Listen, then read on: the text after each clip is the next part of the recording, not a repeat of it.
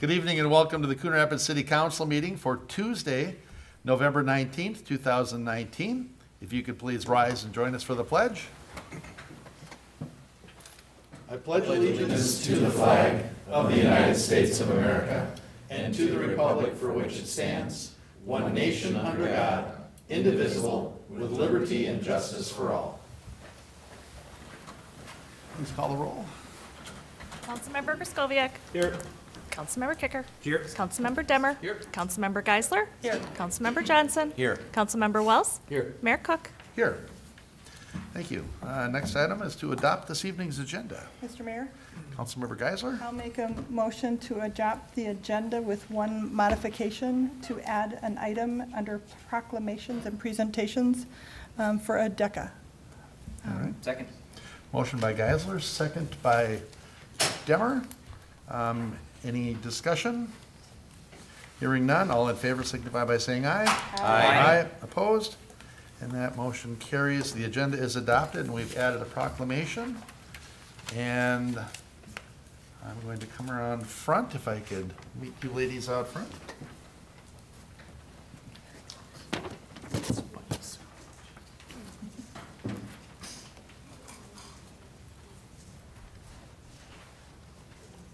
Is your phone going to time out? Should we take the picture first?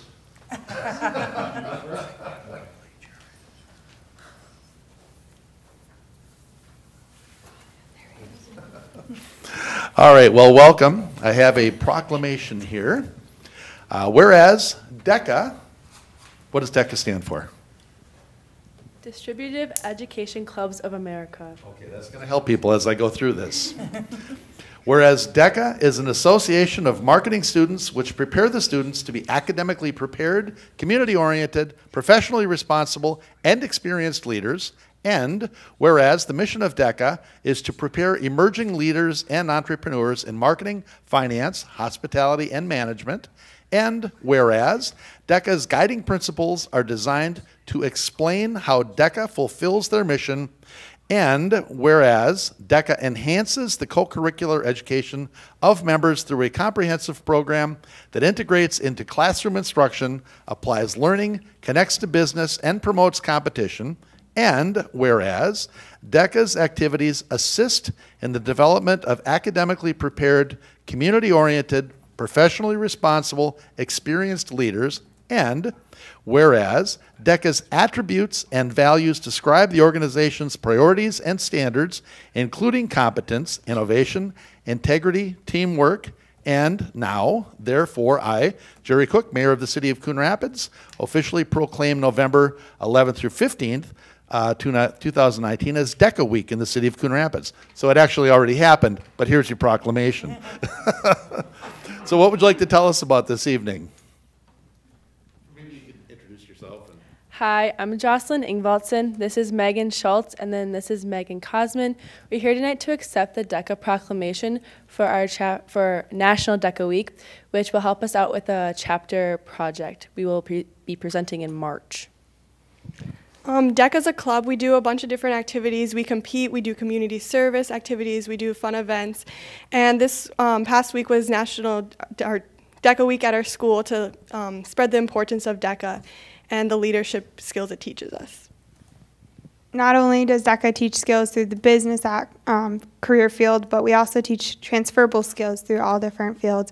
We have students who go through the DECA program who are now biochemists, who are now engineers, um, and also entrepreneurs. So we teach skills that are transferable to all different career fields. Excellent. Thank you. All right. Thank you, and there's your proclamation. Thank you. Thank you.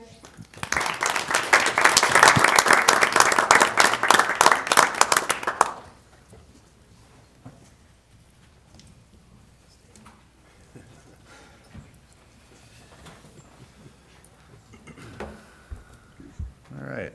Next on our agenda is the approval of the minutes of November 6, 2019. Your Honor, Councilmember Demmer, uh, move the approval of the minutes from November 6, 2019. Second. motion by Demmer, second by Kicker. Discussion? Hearing none, all in favor signify by saying aye. Aye. Aye, opposed, and that motion carries. Uh, We have two items on this evening's consent agenda. Uh, The first one is to approve the 2020 SCORE recycling agreement with Anoka County. Anoka County, which funds the city's residential solid waste recycling program. The term of this agreement is from January 1st, 2020 through December 31st, 2020. The funds within this agreement are used to meet the 2020 recycling goal of 6,578 tons as set by Anoka County. And Coon Rapids is entitled to receive reimbursement for eligible activities up to $215,436. This amount includes $195,436, um, which is the total population and household allotment for the recycling program, and $20,000 dedicated for facility improvements. Excuse me.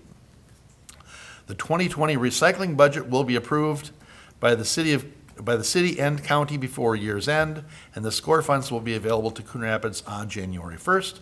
So we're looking to approve the 2020 SCORE grant from Anoka County and authorize staff to execute the 2020 agreement for the residential recycling program.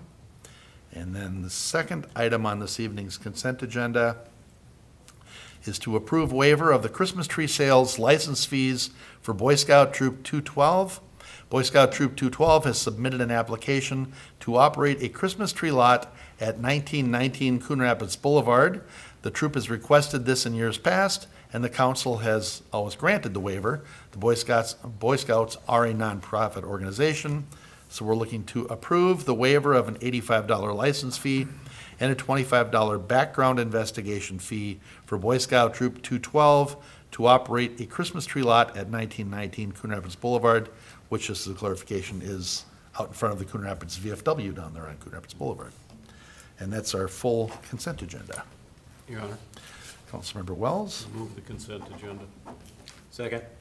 motion by Wells, second by Griscoviac. Any discussion or questions? Hearing none, all in favor signify by saying aye. Aye. Opposed? And that motion carries, and the consent agenda is adopted.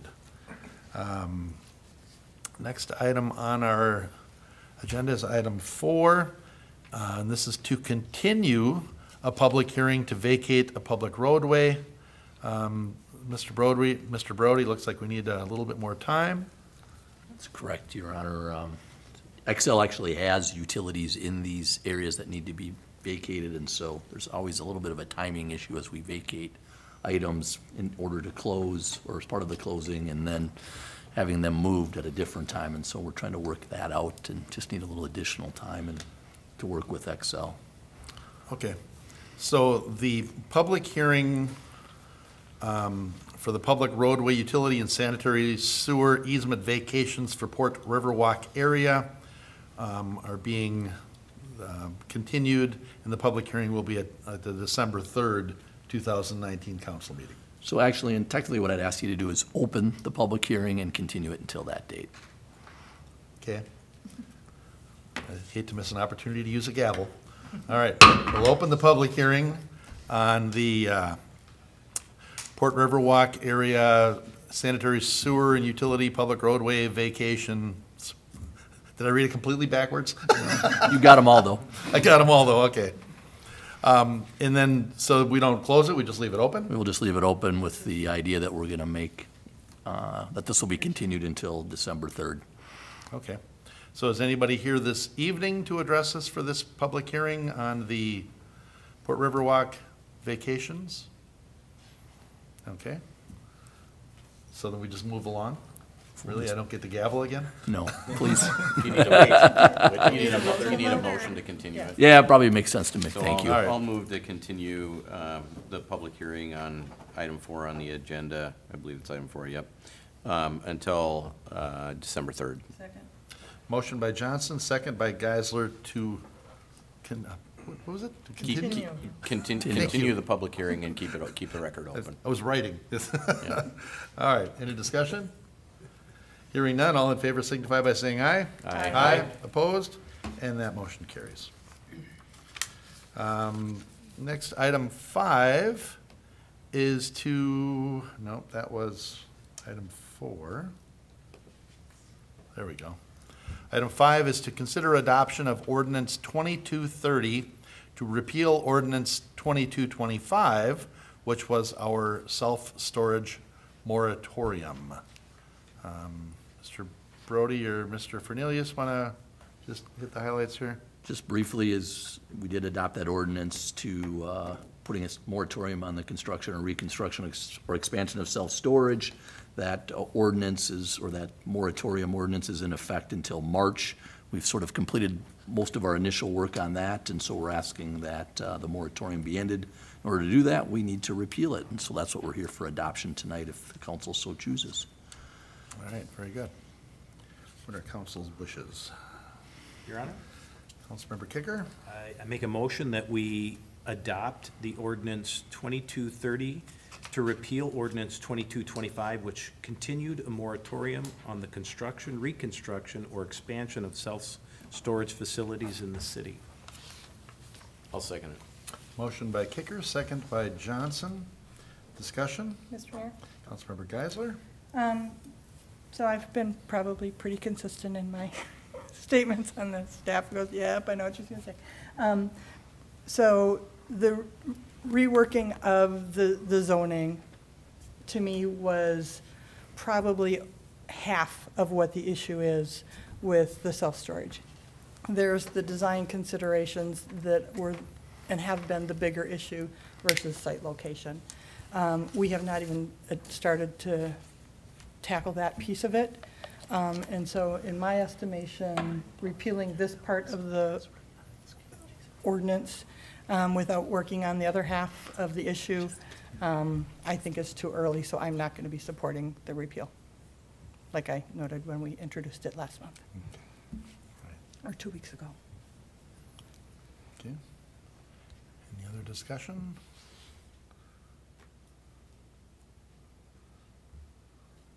Quiet.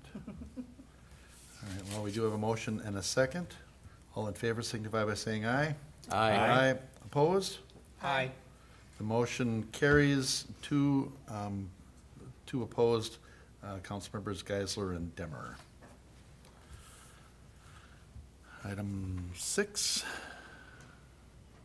consider resolution nineteen one twenty-six, providing for the sale of ten million, ten million eight hundred ninety-five thousand dollars in general obligation abatement refunding bonds, series twenty nineteen B. And we've got nothing but good news tonight, I've hear, I hear.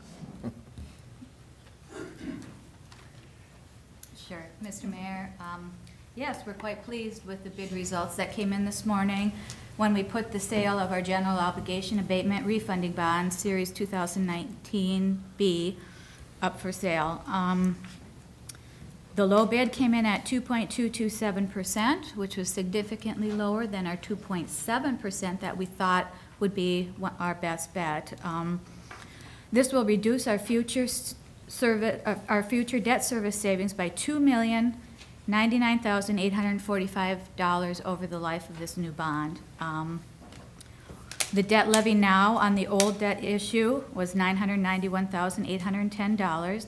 The new levy will be eight hundred and fifty-four thousand nine hundred forty-one dollars, a difference and a savings on our levy of hundred and thirty-six thousand eight hundred and sixty-nine dollars. So this is great news. We have Nick Anhut here from Ehlers um, to explain the bid, um, bid process and the winning bidder, and he has a presentation for us. Nick? Thank you. Mayor, council members, Nick Anhut with Ehlers and Associates, financial advisors to the city of Coon Rapids, and I'm happy to just echo the sentiment from Fran that yes, some very good results, uh, discussions that we've been having since July, looking at this as a potential opportunity to reduce some of the city's overhead costs in administering its uh, existing debt. Just to recap, um, the bonds that were issued that are being refinanced were originally issued by the EDA back in 2010 as part of the improvement and acquisition of the Coon Rapids Ice Center. Uh, those bonds were backed by appropriated lease payments. The city was essentially entering into a lease agreement with the EDA, leasing that property and making a lease payment on an annual basis, and that was serving as the security to the bondholder, those annual lease payments.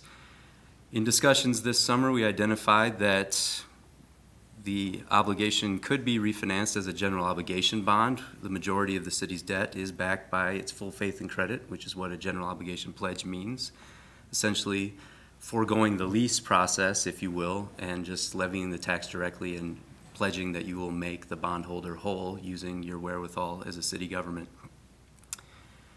Subject to a public hearing on November 6th, the council authorized that backing of the bonds, and I'm here before you with the results of the sale. Um, In that interim time frame, we did receive an affirmation from Moody's Investor Service, who does rate the city's debt, and they have upheld the city's AA1 credit rating. That is the second highest credit rating that any entity can receive from Moody's, so inclusive of cities, counties, the nation, as well as corporate uh, bonds. A AA1 rating is the second highest and a very, very good rating, puts you in the uh, upper echelons, the top uh, 20th percentile of all municipalities across the country. Um, With that rating, we did receive five bids this morning on the city's behalf to purchase the bonds, with the winning bid coming from FHN Financial Capital, their office out of New York. We received other bids as well from firms out of Minneapolis, as well as even Oklahoma City, uh, across the entire country with interest in buying these bonds.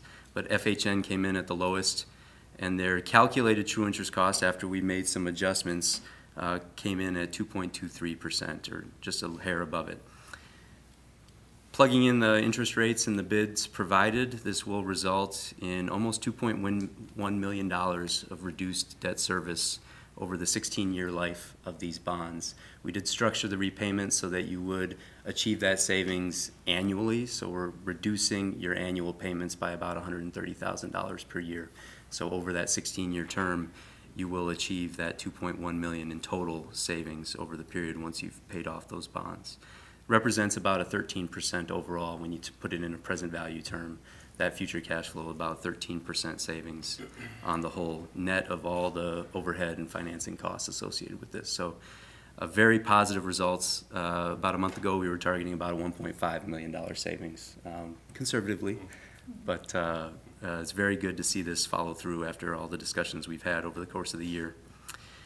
The resolution that was provided, uh, updated by your bond attorney today, actually shows that the bond size needed to execute this refinancing is not the 10.8 million, but rather uh, $10,260,000. So as we have seen recently with bids, there was some premium included within the uh, bid from FHN, meaning they were willing to pay a higher face value um, in exchange for the rates uh, that you will pay. In addition, we did save a little bit on what we had budgeted as far as financing costs as well. And so when you put those two together, we're able to reduce the overall size of the transaction to $10.2 million. That'll be the principal amount outstanding on these bonds as you repay them over the next 16 years. So in front of the council this evening is a updated resolution awarding the sale of $10,260,000 in general obligation tax abatement refunding bonds, Series 2019B. That resolution will award the purchase of the bonds to FHN, the winning bidder on the sale this morning. It will also establish an escrow fund in, in the city's name to redeem the existing EDA issue. Um, that redemption will occur on February 1st, 2020, which is the first callable opportunity to repay that debt obligation. It sets the term for repayment, uh, the savings that I had just briefed you on, as well as retaining the obligation to maintain the facility as a tax exempt facility, ac- available to the public, as well as annual disclosure practices, which you already do for all of your existing bond issues.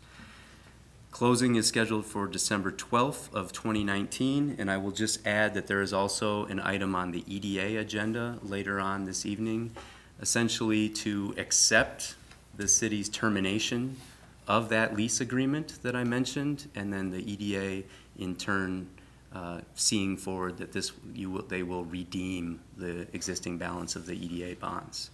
Um, With those two actions, we'll be all set uh, for that closing on December 12th. That's when the funds will be wired into the city's account in your name in an escrow account to redeem those bonds. Uh, And then you will be able to uh, start achieving uh, that $130,000 worth of savings on an annual basis. All that said, uh, happy to address any questions of the council, and uh, we're very pleased with the results this evening. Thank you. All right. It's all good news, Nick. Very nice.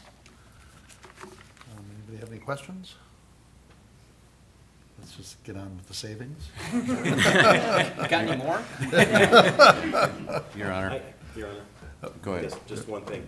I just want to say that the presentation from your group on this whole process was, was really good for me. It was all clear and concise, and it really showed us what we were doing, what we were saving, and what the city was getting here. So I appreciate that. Good work.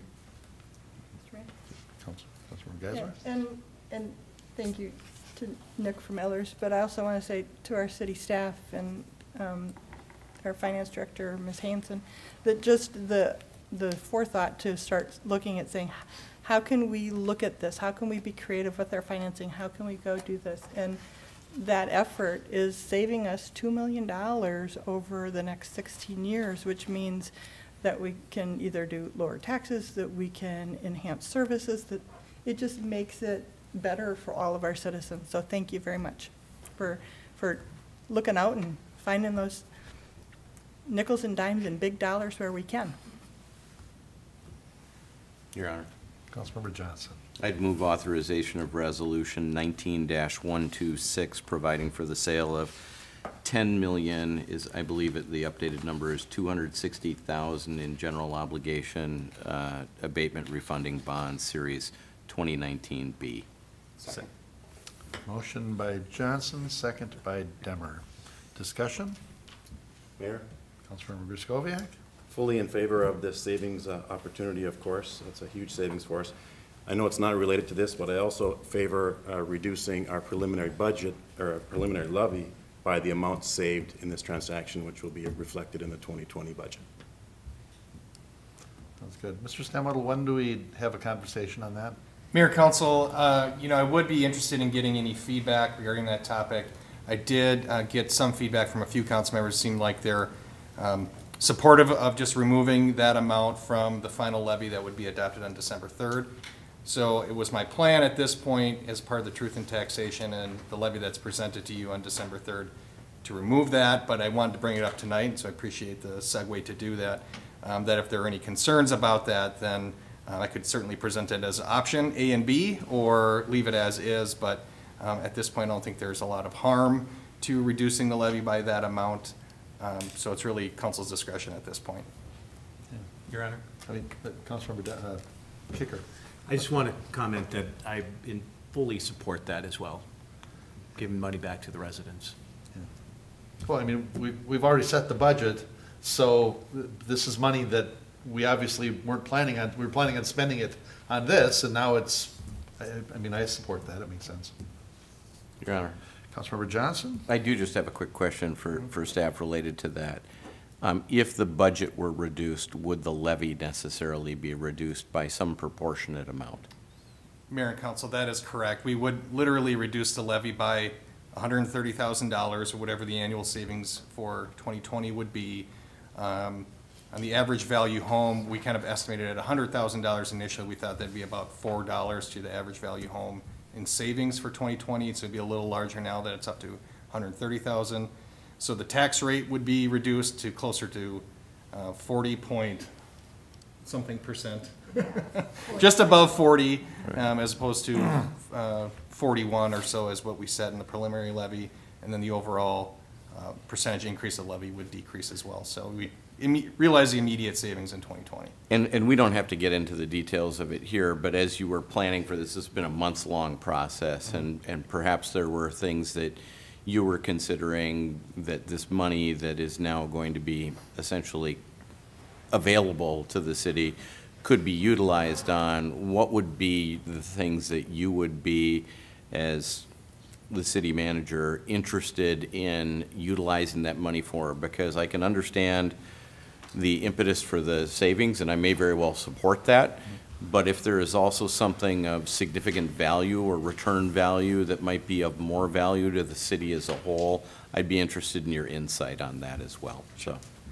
And Mayor Council, on that point, just very quickly, and we can provide some additional detail between now and December 3rd if that would be helpful, but um, since this was outside of our general fund levy, it was under the debt levy, really, it gets used for exactly that, paying the debt. In It's this case- restructuring debt. Um, and in this case, you know, could you use that to buffer some sort of future debt if you maintain the levy at that point? Yes, but in some respects, it probably makes more sense to just, if there's a new project down the road or a new debt issuance, to make a decision on the merits of that alone.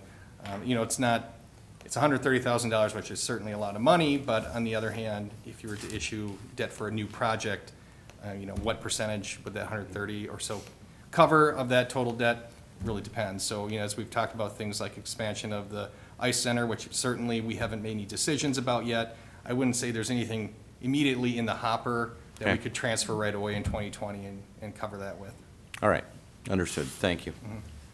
Are we paying Nick by the hour to have this conversation? I'm just curious. 'cause No. This is kind of outside his purview. Uh, Nick- Nick, Nick made his money today. Keep me here. All right, so we have a motion and a second to authorize Resolution nineteen one twenty-six, providing for the sale of ten million, two hundred and sixty thousand, ten million, two hundred and sixty thousand general obligation abatement. Bonds. Um, Any other discussion on that? Hearing none, all in favor signify by saying aye. Aye. Aye, opposed? And that motion carries. And then I'll just trust, Matt, that you'll let us know when you need us to have that conversation, or are you already satisfied with the conversation? Mayor, council, at this point, what I believe we'll do is we'll present the December third levy with the modified amount. Um, you know, if there, there would be opportunity, um, to, for council to change that if they so desired at that meeting, but. Okay. Um, you know, would help us just to understand if, if, unless I get some feedback the next week or two, uh, before we present that, it'd be my intention to just present it with the restructured amount, um, for consideration. But So if if anybody's anybody got has any questions strong- or concerns about that in the meantime, please see me and we can discuss it. If anybody has any strong concerns to the contrary, they should let you know. Please do, yes. Okay. All right. Um, Thanks, Nick. Thank you. As as he slips on. Good job, Nick. Um, Next on our agenda is item seven, uh, planning case nineteen two. Consider resolution nineteen one twenty-five, granting final plat for Port Riverwalk Centra Homes. If I could just check the record, did we get a vote on that? Yeah. I'm, I'm sorry, I cou- couldn't remember. Okay. You voted So in the that- affirmative. Well, I moved it, but I I just couldn't remember if we did because we had so much follow-up Yeah. conversation. Okay. Um, Okay, um, Mr. Fernelius, you want to highlight the highlights I on have a this? short presentation if the council is Nice. interested one on this topic. Nice. If you've Ready got one, go? we'd love to see it, Okay, you know. all right. Hate to feel like we missed out on anything. Is the T V messed up too? I don't know.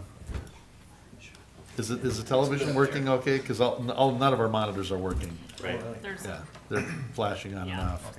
Okay. As long as that's That working, one's we're good. working? Yes. Okay, all right.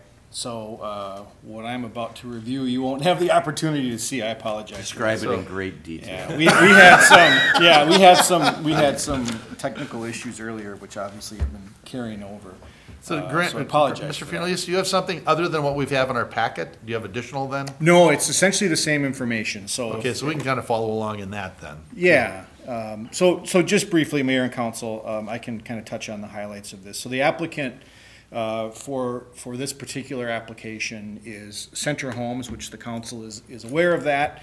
Um, for a number of years, we've been working with Centra on the Port Riverwalk development, uh, which is along Coon Rapids Boulevard. Generally, uh, for those that are able to watch this, uh, I can kind of point to what, what I'm referring to. Generally, We know area- it intimately yeah, up here. Between Egret Boulevard, uh, Avocet, and then uh, to the east, uh, East River Road. Um, The applicant had received previously a preliminary plat approval on April 2nd. You may, may recall that, which included the entire 40-acre site. I have a couple of slides that uh, are referencing the the preliminary plat. Again, I apologize that you can't see that in front of you, uh, but uh, the one segment we're referencing is kind of the west segment, which is generally the area between um, Egret Boulevard and Drake Street. Uh, Then there's a, a- a central segment, which is between Drake Street and Avocet uh, to Zilla. And then finally, uh, an area called the east segment, which is from Avocet and Zilla uh, along uh, East River Road. What they are uh, presenting tonight, however, is a, a final plat for the entire site. Um, They're going to plat it into um, several outlots, and then this first um, portion of the project will involve 29 lots. Uh, So this is the area that is described as inset A uh, in your packet. I think it's the last slide that you have. So this would be the first phase of the development. Uh, That is what we've been working with Centra on, and that's what they are platting uh, as part of this uh, final plat this evening. One thing I will note um, is that previously on the preliminary plat, that new road that would be constructed was referenced as Riverwalk Drive. And after some internal discussions with our staff, um, there is a street naming convention that the, that the city utilizes, and so it was, uh, we recommended that it be renamed to 100, 100th Avenue Northwest, which would follow the, the typical protocols that, that we have, so our public safety folks can find it, uh, and it, it just kind of follows, um, what we've done over the years. So it's referenced as one, 100th Avenue Northwest on the final plat. Um, So our recommendation is for council to approve the attached resolution 19125. There are four separate conditions listed. If you'd like, I can go through those, but um, those are pretty much consistent with, with the preliminary plat. There was a slight reduction in the amount of the park dedication fees, which is just simply related to the lots that they're going to develop. Um, This does contemplate in the, in a subsequent item that is on your agenda related to the development, that this will be platted in, in future phases. So as the developer um, moves forward with this project, we'll see the uh, outlots that are shown on this plat then subsequently platted into additional uh, single-family detached townhome lots. Your Honor? Councilmember Kicker?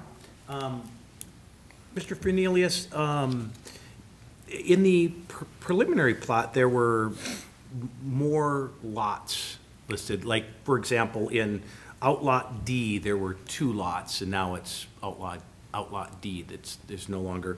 Is, um, so I think there were, in the preliminary in this area, there were thirty-three, so it's been reduced by four. Does that mean overall the number of lots are gonna be reduced? So rather than, what, hundred and thirty-six, we're down to hundred and thirty-two now? Or can these potentially be, I mean, can, you know, these outlots, can they come back and change those designations and create lots in there? Yeah, that's, a- that's a good question, and- and, and thank you for raising that, Councilmember Kicker. So, um, if you recall, there were some title issues that we couldn't resolve in time, and so those lots are not gonna be platted. Centra will not take title to those lots immediately. Once we clear up the title, then they will come back and, and plat those smaller outlots that were contemplated for residential development. Okay, thank you. So, so Mr. Fernelius, so like outlot C on one of these, um, appears that it's going to be the, or maybe it's D. Um, Outlot D is, is the, the private road between the river, river, uh, the, the, the row homes. Um, it's described as outlot D on our, on our map or on our plat here. Um, let's see here. Oh, six of twenty-two, it's the westernmost plat. It's second Okay. slide down. Sure. Yeah. Yep. So on here, out- outlot D is listed on here, and I, I assume that's gonna be like the private streets there. Right, that, so that drawing is actually referencing the preliminary plat. So in the final plat, that whole area is simply an outlot. So what you're approving this evening is an outlot, it's not this actual, you had previously approved this as a preliminary plat, but now in the actual development of the project, this is, this will eventually be platted this as a, at a subsequent phase, Okay, if that makes sense. all right. I just wanna make sure we're not gonna end up with these leftover vacant lots there that, uh, Right. okay. Yep.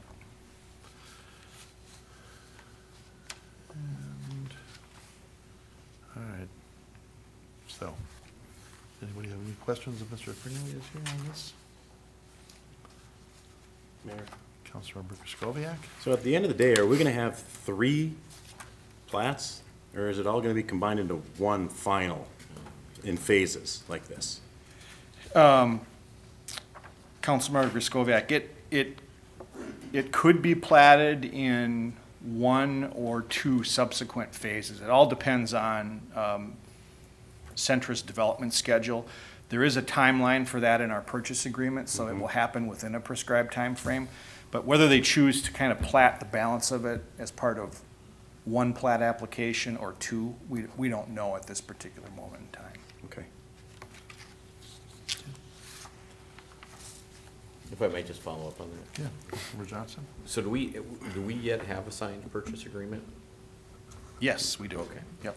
And so, um, when would, if we go forward with this tonight, uh, when would they be scheduling, starting their home construction?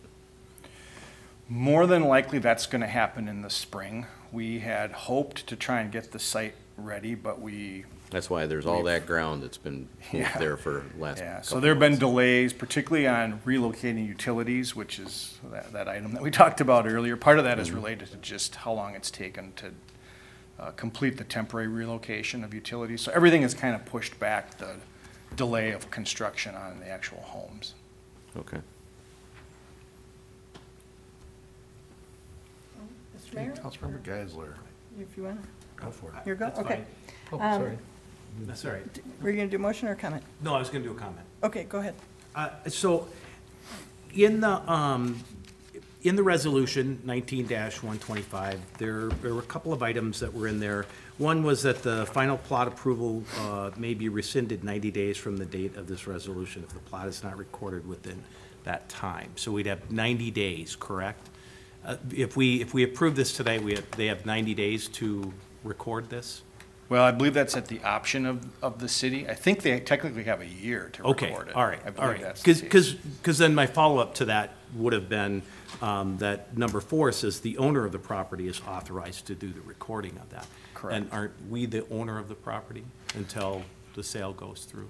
We will, the city will sign off on the plat. Um, Centra is the applicant, so they will actually Right. sign it as the, so it'll all be, this will all be recorded kind of simultaneously with all the other closing documents. So this, the plat will be recorded first and, and then everything else will follow behind that. Okay. Your Honor. Councilmember Johnson? I'd make a motion in planning case 19-2 for approval of resolution 19-125 granting final plat for Port Riverwalk with the four conditions as follows. Number one, compliance with Title eleven. Number two, park dedication, the amount of fifty-eight thousand dollars will be paid for the twenty-nine lots. That's two thousand dollars, uh, per, uh, each of the twenty-nine lots. Park dedication will have to be paid prior to releasing the plat for recording. All engineering comments must be addressed, and all comments from the Anoka County Highway Department must be addressed. Second. Motion by Johnson, second by Geisler. We kind of collaborated on that. Is that what it was? Yeah. Discussion? Mr. Mayor? I'm- Councilmember Geisler?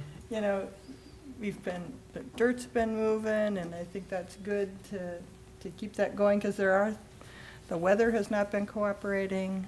There's things that we find in the dirt that are not cooperating. Mm-hmm. There's title. So just being able to see this making more forward progress, I think is phenomenal. And I look forward to seeing things on that dirt come the spring. Houses. Houses. Hoses. Hoses. Homes. Any other discussion? We have a motion and a second. All in favor signify by saying aye. Aye. Opposed? And that motion carries.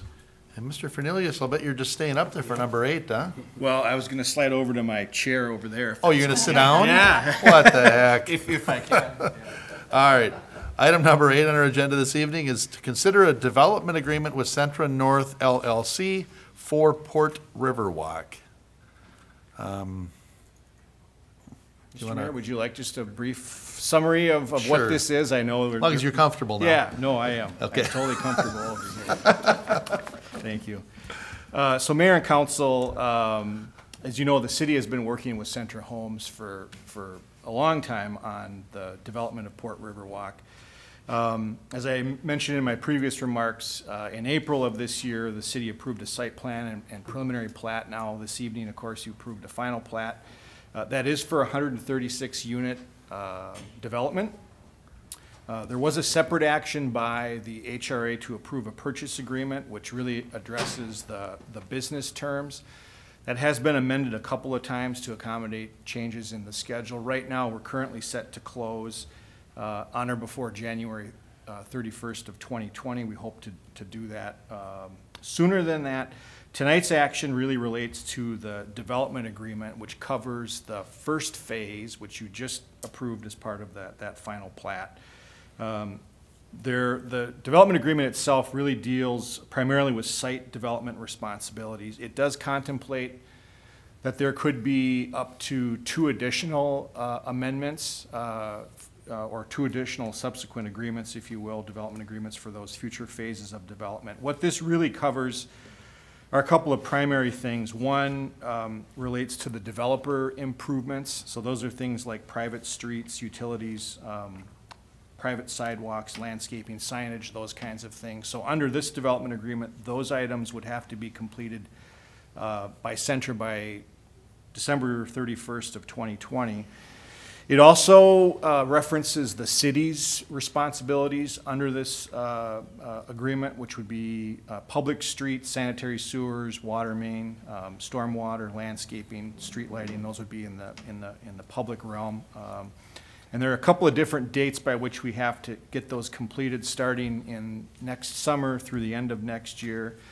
Um, the doc- document also uh, contemplates a letter of credit, so Centra will provide a letter of credit for some of the improvements um, that are part of their responsibility. There are other legal protections, warranties, those kinds of things that would be part of this uh, development agreement. I do want to also clarify that um, the agreement that is in your packet includes a legal description that we're going to need to modify um, That legal description references the entire property, and what we really need is to clarify that uh, for purposes of this development agreement, which will be recorded against the land, it's for this first phase. So we'll update that um, before it's, it's fully executed and then recorded. So our um, recommendation tonight is for council to approve the development agreement with Centra Homes uh, LLC. Any questions? Your Honor, just a quick question. Councilmember Johnson? So this was drafted by Kennedy and Graven representing the city? Yes. Okay. And then, um, is what you're proposing that we essentially adopt or approve the development agreement by and between the city of Coon Rapids and Centra North LLC for Port Riverwalk? It says first edition, um, in- in substantially the form that it exists here, subject to those legal description changes? Is that what you're proposing? I I think that would be fine, yeah. Okay, so I'll make that motion then. Second. Motion by Johnson, second by Wells. Is there discussion? Yeah. Councilmember Demmer?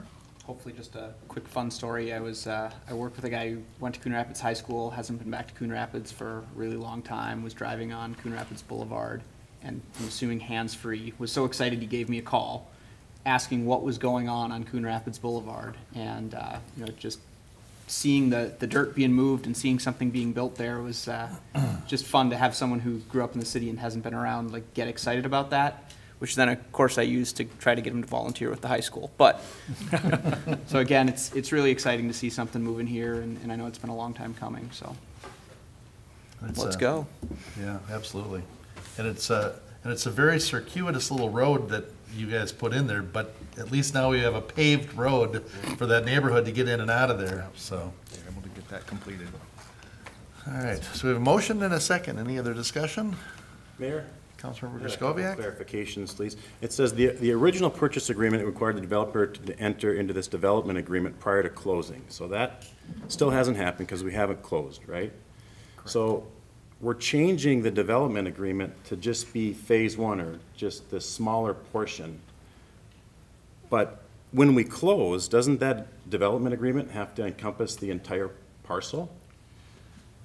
So the, the, the development agreement will be, will have subsequent agreements that we'll enter into for the future phases. The purchase agreement stipulates that there's, I think it's a three-year time window that Centra has to complete those subsequent phases. I don't remember what the exact dates are, but, so we have some terms in the purchase agreement, all the development-related um, responsibilities are in, will be in the development agreement, either in the one that you have there th- before you this evening, or a subsequent one that we'll present. Okay, and I presume that, and the other part of that question is then, the development costs that the city's incurred of the whole, the whole parcel, is that still going to be reimbursed at closing for the entire site or just for phase one now?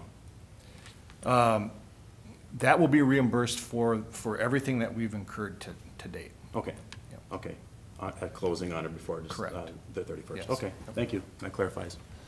I like how consistent you are about those, making sure we're gonna get reimbursed for that. Anybody else? Any other discussion? We have a motion and a second. All in favor signify by saying aye. Aye. Aye. Opposed? And that motion carries. Item nine is to consider Anoka County Joint Powers Agreement amendment for Coon Rapids Boulevard reconstruction. Uh, We're being asked to approve amendment number one to a joint powers agreement with Anoka County for the reconstruction of traffic control systems at County State Aid Highway 1, Coon Rapids Boulevard, and Avocet Street, and Egret Boulevard, and uh, Coon Rapids Boulevard, pavement reconditioning between Egret and the junction of East River Road and Coon Rapids Boulevard, and rehabilitation of two bridges on Coon Rapids Boulevard at the east end of the East River Road junction. Mr. Himmer. Mr. Mayor, members of the council, last time we saw this was just up to kind of the bridge split at East River Road. Uh, Anoka County needed some additional rehabilitation work on the bridges itself, going over the railroad tracks and over East River Road, so that was incorporated into this project. That, that's really the difference between what you saw before was their extra work, their extra cost, it goes to their portion of, of the project cost. There are a few other minor things that are moving in and out based upon what was completed in phase one of the grading and some other things, just coordination of stormwater items and such. But i- i- it's exactly the package you saw before with some additional rehab work by Anoka County at their cost. And I'll answer any questions. All right. Do you have any questions of Mr. Himmer? Mr. uh, Councilmember Demmer? Yeah, so I know we don't have any concrete plans to build that pedestrian bridge for sure, but it appears like it would go over this section. Um, Is there anything in rehabbing this section that we're gonna wish we had done? Should we build that bridge, or are we gonna tear anything up that we just fixed, or is everything kosher that way? Councilmember Demmer, council, um, I can't say everything's gonna be perfect. I mean, if, if you wanted to start putting in piers and pilings and other things, certainly, but the plat has been developed, the roadway improvements have been developed, the private improvements have been developed in such a way that it can be accommodated. Will we have to tear up portions of the trail? Yep. Will we probably get into some of the stormwater features? Yeah, when you're doing excavations, that, that's gonna be necessary, but the space is there to put it in as we've kind of shown it to date.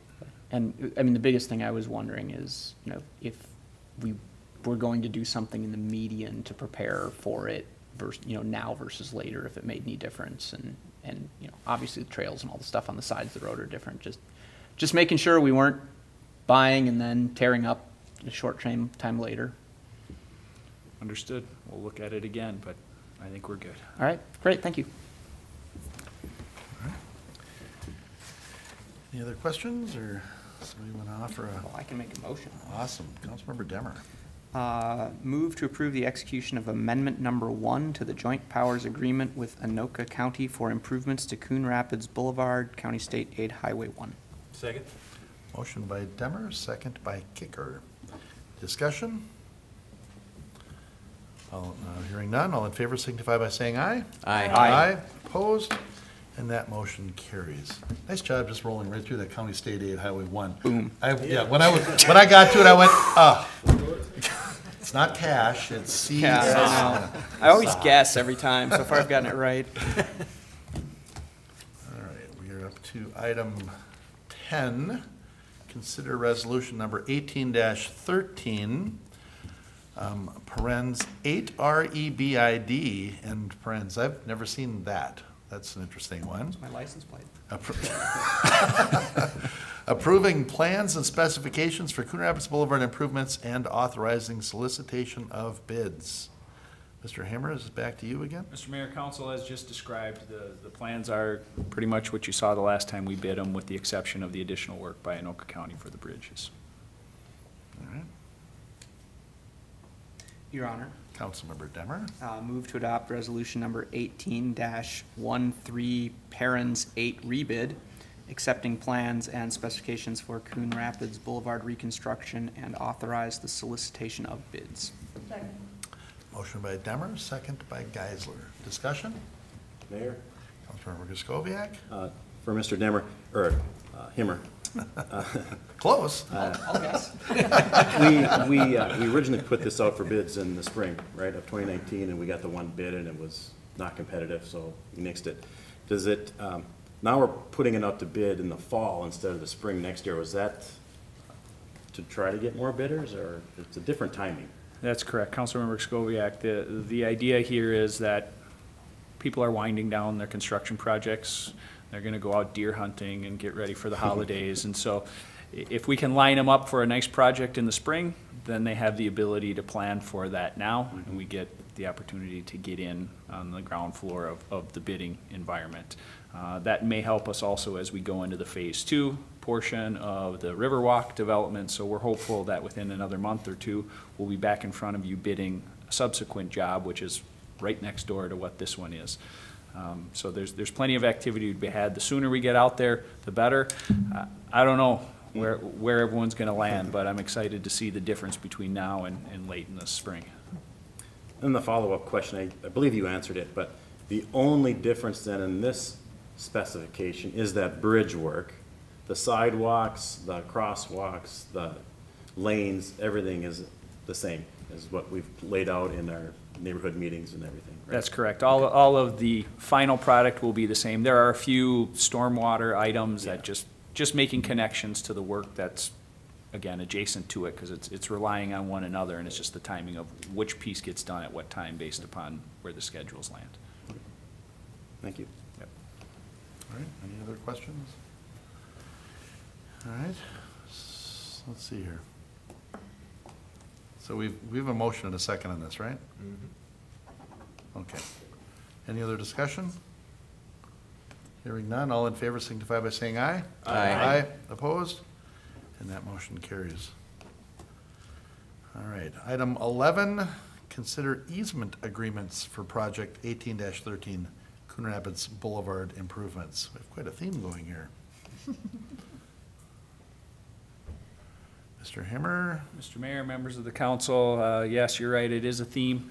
Um, These are some easements that are necessary for the project we're, we're going out for bid for. Uh, One is on the Lily Putt site, which um, will put a concrete sidewalk in replacement of the goat trail that exists there today. Uh, So that will complete the sidewalk between uh, that, that segment. Uh, The other is on the former City Hall site, right on the corner of Avocet. We're putting a southbound right turn lane in, so as you're coming into that intersection for buses and other things. So as you're heading southbound at the intersection of Zilla slash Avocet and Coon Rapids Boulevard, um, we need a little extra room to get a right turn lane in there, so we're purchasing some right-of-way for that. The, the exhibits are correct on there. Um, we've worked directly with, uh, the property owner, it's the same owner, two separate entities. Uh, we've arrived at, uh, an agreeable solution, and therefore, um, we'd like to get this wrapped up so we can, uh, make sure we have it in hand by the time the project starts. All right, Your Honor. Councilmember Demmer? So, um, maybe I just couldn't tell from the diagram, but there's a permanent sidewalk easement and a temporary easement. And it, tell me about this, like the temporary one, when does it go away? And is the permanent one underneath it? And th- this is all, we're building a sidewalk and the temporary is a fence in the meantime? Councilmember Demmer, uh, council, uh, it's extremely tight there. There- Uh-huh. There, there is a, a jog in the right-of-way from the old City Hall site to here. Um, Based upon the location of their existing facilities, we really don't have the opportunity to add a five-foot boulevard, landscaping, the whole nine yards. So we're, we're, we're wedging a sidewalk in here to get a sidewalk in here. So there isn't a lot of room we need for the physical sidewalk construction, but what we need to do is take down the fence, grade back, build retaining walls, things of that nature. So it's a temporary in that it will be there through the term of construction. I believe it expires somewhere around November. Uh, But the idea is that, that's just to match back into their existing facilities, move some things around to make it fit. Great. I, I appreciate that, and I, I do really appreciate um, the work you're doing, because I know that that is a tough one to fit a sidewalk into, but it's certainly going to look a lot nicer with a sidewalk than, than what's there, and hopefully we just keep that going through all the other unfinished sidewalks on that side of the road. Was that going to be a motion? Oh, would you like one? Sure. All right, fine. All right, uh, move to rec, uh, move to authorize execution of the two easement agreements with the Lily Putt Ownership Group for project eighteen thirteen. Second. Motion by Demmer, second by Demmer, uh, Kicker. All right. Second by Kicker. Um, discussion?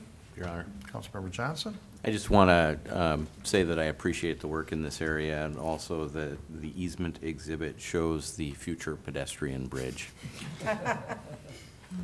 So, And, and, and we don't officially condone goats in town. yeah, yeah. So. That might fall under the undomesticated animals. Yeah. Them and bees.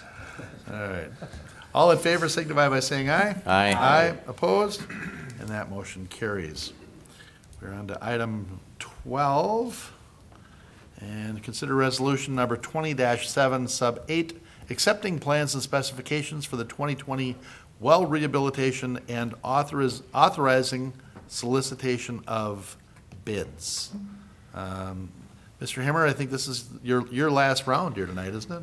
Your last one, last item? So I'll leave when I'm done. Thank you. Don't Um, leave. Yes, I'm Mr. sure you'll have questions during other business. Council, um, this is just our ongoing program. We've kind of settled into a routine, an eight-year rotation where we touch three wells, hit a booster pump. Uh, So technically, this money is in the budget for 2020. We're asking, we're- we won't incur the costs until 2020, but um, we are asking to move forward now to try to get the work done before the prime pumping season starts next summer.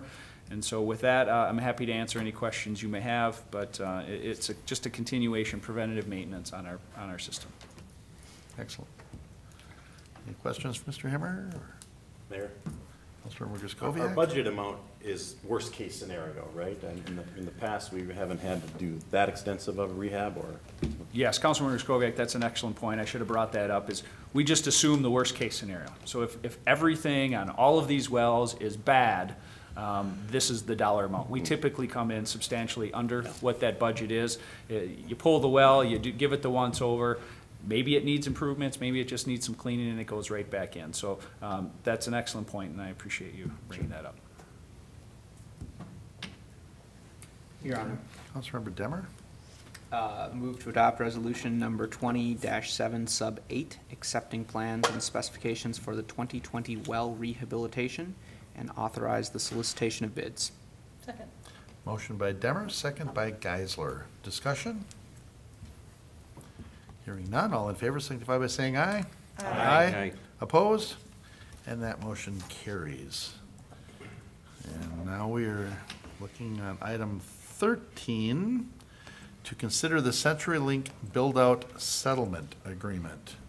And I'll bet we're looking at Mr. Strauss. You, you, you watch this over at the studio and then just come over when it's about time, don't you? Did Matt tell you that? No. He I wasn't thought- supposed I- to say anything. I saw the CenturyLink guy and I thought, how come Eric isn't here? And then I went, no, here he is.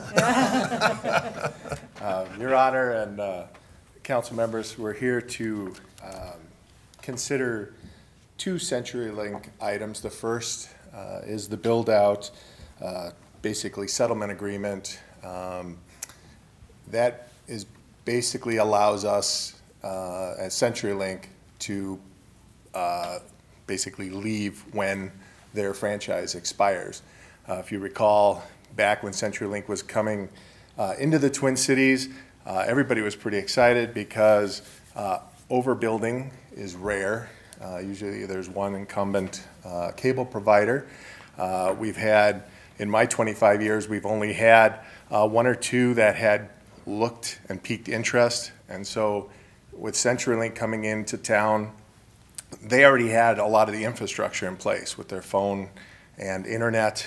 And so, uh, you know, it was something that we were very excited about to give our residents in Coon Rapids a second option. Um, You know, choice is great uh, for the residents, but uh, unfortunately, uh, over the last year, we could tell they've been starting to uh, pull out of the market, getting out of the cable TV business. So um, this, and the second item, uh, I'm just going to touch on these briefly uh, because our, our legal attorney is here, and I'll introduce him next, and he'll go into all the background and all the good details. Um, But uh, the second item is also uh, for a franchise fee uh, settlement uh, agreement. That was, we had seen some discrepancies back in 2016 on, on, there was a a significant change in the monies we were receiving in the franchise fees and PEG fees.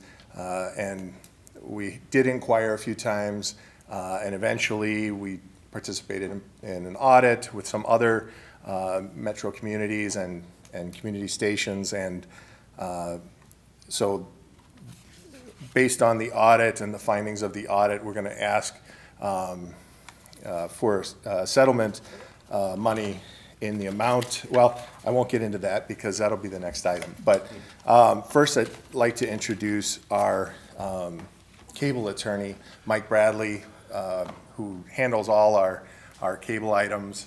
Um, Mr. Bradley? Who I mistakenly thought was the CenturyLink guy, and I was thinking it's okay to keep him here late because they're paying him. But now I just realized we should have Yeah, him the earlier joke- on the agenda. Joke's on you, Mr. Mayor. Yeah. Well, thank you. Uh, My name's Mike Bradley. I'm with Bradley Law, and I've been representing the city for a number of years on your cable franchising matters. And the last time I was here, we were all very happy because we were entering into a, a new cable franchise with CenturyLink and uh, finally getting uh, competition in cable service, um, you know, really for the first time in the history of the city. And, um, and it was an exciting time. Um, Unfortunately, um, CenturyLink has uh, chosen to exit the market. And when they uh, decided to do that, we reached out to work with them, really to kind of come up with a soft landing um, for them and for us, frankly, because as you remember, when we granted that cable franchise, it was for a period of five years. And we were very intentional on granting a short franchise because we wanted to see how they were building out. And, um, and, and they were struggling, frankly, on, uh, on doing that.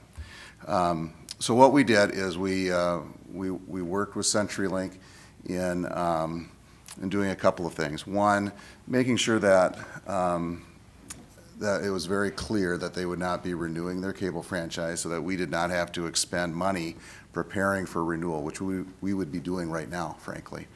Um, uh, Secondly, we wanted to make sure that the cable subscribers were taken care of, the CenturyLink cable subscribers, so that they were transitioned, um, you know, to another product, um, and that, that they didn't incur any expenses uh, as a result of, of that uh, transition. We also wanted to make sure that the right-of-way, um, there was no damage to the right-of-way as a result of constructing a cable system. Now, remember, CenturyLink provides phone and internet services. They're going to continue to do that. Those are under uh, a different permitting uh, schedule and set of laws uh, rather than the cable franchise. But to the extent that they, they were doing ri- any right-of-way construction um, related to the cable system, frankly, we don't think there is any. But if there was, if there is, then they have to pay for all the expenses of, of restoring the, uh, the right-of-way. Um, so with that, that's really our, uh, let me see if I, I I may have missed one here. Oh, and then finally, you know, franchise renewal. So we wanted to make sure that uh, when the franchise term expires, which is January 2021, then uh, CenturyLink will be completely done providing cable service and cable service only. If you're a phone and internet subscriber, you don't need to worry. They're going to still be there, so they say, uh, to provide uh, those, those services. So with that, um, you know, we would recommend approval of, of this settlement agreement that's before you. Mr. Bradley, is CenturyLink completely pulling out of cable, or, or- or just in this region, or just in this area, or do you know? Uh, System-wide. System-wide? Yes. Wow, okay. Yeah, that, that was a real exciting thing when they first came forward and to consider that. Hmm. Yeah, no, we really thought it would make a really we were we were hopeful that that it would give consumers choices, choices that they didn't have before, and it would, um, you know, one, you have a choice, and two, maybe it would, uh, you know, cause pricing to go down a little bit. And unfortunately, they, it it didn't work out for CenturyLink. Right. Anybody have any questions, of Mr. Bradley, before we entertain the motion? So, Mr. Mayor, I'll make a Councilmember Geisler? motion to um, approve the attached settlement agreement with CenturyLink. Motion by Geisler, second by Wells. Any discussion? Hearing none, all in favor signify by saying aye. Aye. Aye. Opposed? And that motion carries. And now we will, item 14, consider the CenturyLink franchise fee settlement agreement. Great, thank you, uh, Mayor and council members, and, uh, you know, I was really excited about coming here tonight and, and going over, uh, this settlement agreement, and then, uh, Nick from Ehlers comes on and, and saves you a boatload, and, uh, so I have some nickels to spread out here, uh, for you all tonight. But, um, you know, CenturyLink didn't, um, uh, didn't have a lot of cable subscribers, so the amount of franchise fees that they were paying, um, you know, is relatively small. Um, like Eric said, um, we noticed that there was, um, some unusual activity by CenturyLink on how the franchise fees were being paid. We went, um, and formed a coalition of uh, municipal entities, um, hired a financial consultant to, uh, review this on a, um, on a very affordable basis, frankly. I hope uh, so. We're only talking $9,000 here. well, and it was, you know, uh, when you spread it out, it's a lot more, right?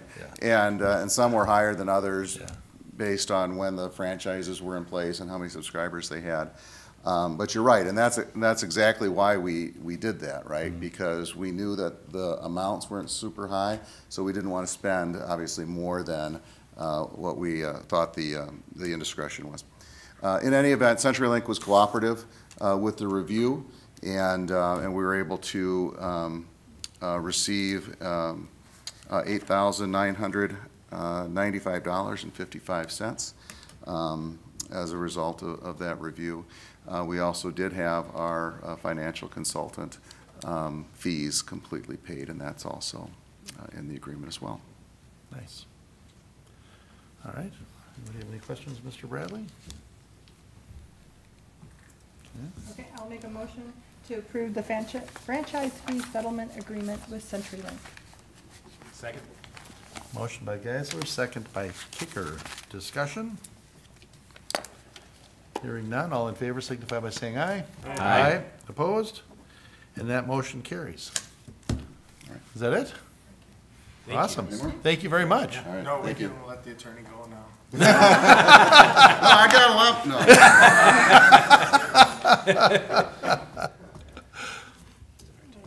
All right. Uh, So that brings us up to the open mic public comment portion of the meeting. Is anybody here to address council for open mic this evening? Anybody who wants to address council on issues that are not on the agenda this evening? All right, seeing none, we'll move, we don't have any reports on previous open mics, and we are at other business. Hanson, Mr. Himmer, Hanson, is this still the next holiday, Christmas, or? Mr. Mayor, Council, no, no change in what's happening out there. Uh, We did have to push back the pour of concrete from when it was 12 degrees last week until we hit 30s and 40s this week. Um, So now it's just breaking concrete cylinders and wait until we hit that specified strength, doing um, side treatments just to make sure we're established and ready to go. But um, no change as we sit here today. Okay. Um, All right. Well, so I, I want to really throw out a big congratulations to the Coon Rapids High School football team. You know, that was just tremendous to make it into the US Bank for the semifinals. Unfortunately, they ran into a a grinder that was Chaska. Oh, my gosh. It was a very good team. But it was really fun. The, it was really a lot of excitement, and the team stayed in there. They didn't give up. You know, they came back at 14 points at the end of the, you know, towards the end of the game, and it was, it was just, it was, it was good to see that, and it was really fun. More importantly, they smoked Andover.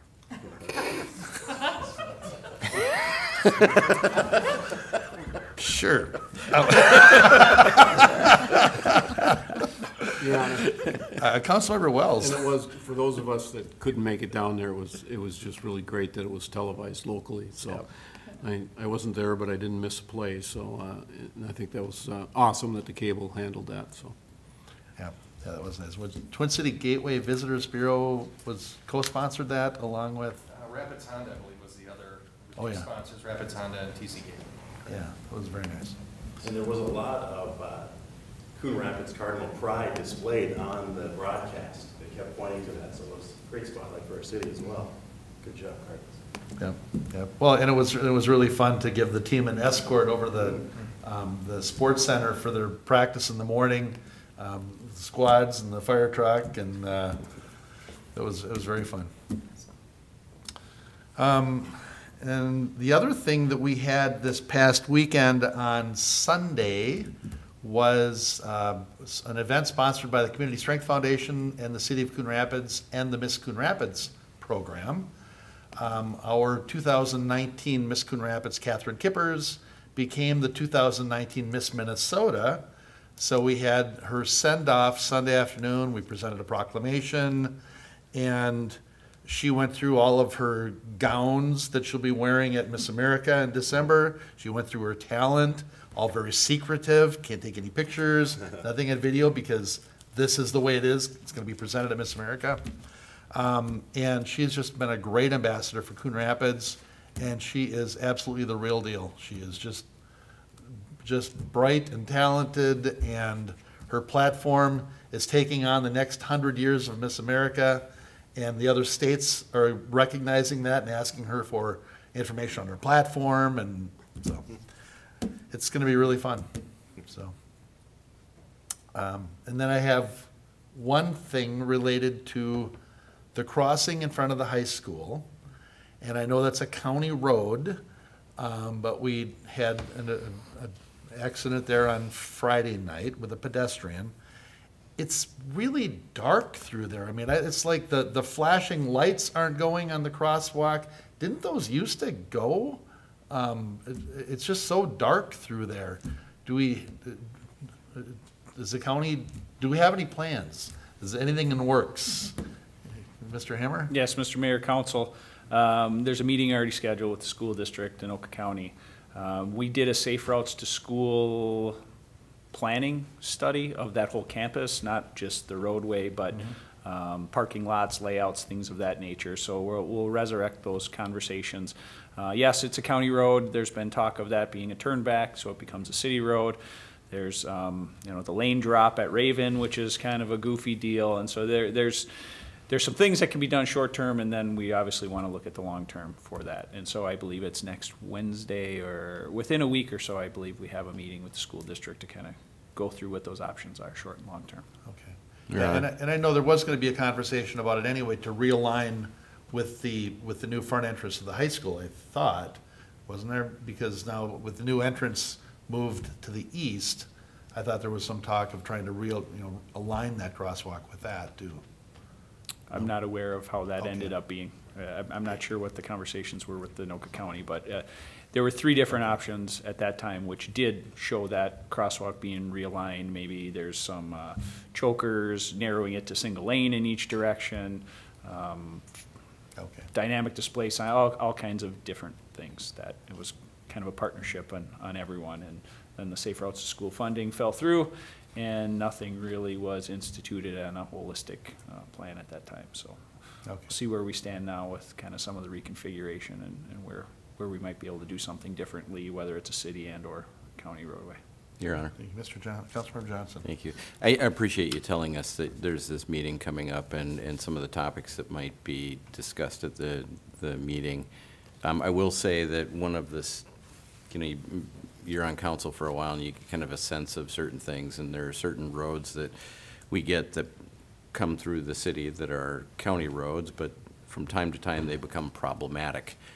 And there are issues that arise that we need to work through with our other partners and stakeholders in the community. And one of the things that seems to be a constant thing um, that we face every year, every other year with the county is that, it- well, if it's a problem, then we'll just turn it back to you, kind of thing. And I just wanted to kind of note my initial resistance um, to that kind of approach to these things. I would appreciate the county um, doing as a collaborative a job as they did with the Hanson uh, Bridge uh, overpass and working with the city to address some of these issues, especially when they're safety related.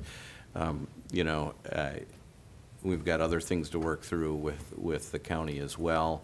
Um, And I, I am mindful that we put before the county this year, um, and there may be times down the road uh, to address it, the footbridge over uh, Coon Rapids Boulevard, and they took a pass on it this year, which I understand for various reasons, but, um, you know, there are things that um, I would like to see us kind of hold the line on, and that's just my own personal view. I don't speak for the council on this or other council members, um, but I would like it to be known um, that I at least am a little resistant to these efforts to turn back property or turn back roads to us that have long been in the county's inventory. So I just leave that with you. Your Honor. Councilmember Wells? I- I knew this would come up tonight, and I- I, I hate to reiterate, but I drive by there all the time and did tonight, and it does seem darker than It is. normal. Yeah. And that seems like the most minimal fix to, to Yep. get, to at least brighten it up there. But I've been around the city for 41 years, and this conversation predates me. I mean, that's how long they've been talking about this crosswalk, and nothing ever really gets done. And I understand, not only is it expensive, it's not practical to put a, you know, either a, a bridge over the Northdale, they've even talked about under, and, you know, and it just doesn't work in a lot of ways. But, uh, and I know this would be a traffic nightmare, but in your group, can you at least talk about a pedestrian-generated uh, stop signal? You know, where the pedestrian would actually turn the signal red. And, and I understand when kids are crossing the street one at a time, a class of 40, because I've seen it, it happens. It, it would not be easy for traffic, but from a safety standpoint, something has to be done. And, and like I said, we've been talking about, you know, a bridge forever, and no one's willing to pay for it. It's also, also a space issue there for the high school, you know, I mean, because obviously it has to expand. So, I mean, I just wish we'd look at something that would actually happen instead of, you know, studying it for another six months and hoping nobody gets hit, so we won't, we'll forget about it again for another two, three years. So I hope something happens. You're here, here. Councilmember Geisler? Yeah, yeah, I think in my notes to, to staff on that too, you know, I think I'd reiterate what um, Councilmember Wells talked about. I mean, we have the trail crossing on Round Lake Boulevard, you know, because we wanted to get people safely across that road. There's the, you can turn the light red and cross, you know, and, and to me, yeah, there maybe are some issues that there's gonna be so many people tr- trying to cross, and how long would that be red? Um, But I think the safety committee needs to take a look at it again, and so I, I'm glad that you have the meeting already on the calendar, and so mm-hmm. that we'll start to take a look at this a little, little closer again. All right. Any other business? Typing away there. Notes. Oh. All right. Motion to adjourn? Second. Motion by Kicker, second by Demmer to adjourn. All in favor signify by saying aye. Aye. Aye. We are adjourned.